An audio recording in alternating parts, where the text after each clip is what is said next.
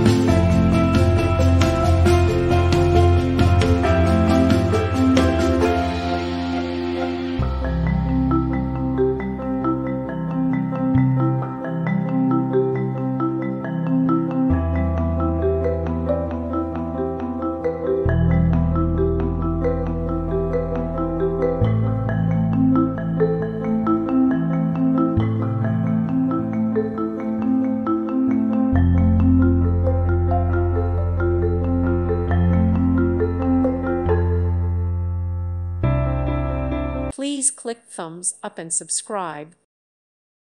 Thank you for watching. Thank you, Jesus.